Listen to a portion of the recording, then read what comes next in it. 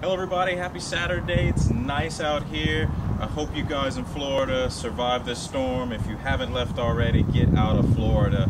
Irma's no joke. But Mr. Hopkins drove in from out of town because he wanted his car coated. He bought this box Boxster not too long ago and he needed it protected.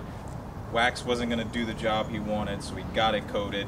He wanted ceramic pro gold we gave him ceramic pro gold. That's four layers of 9h and one layer of light with a lifetime warranty when you reload it annually. Let's take a look at it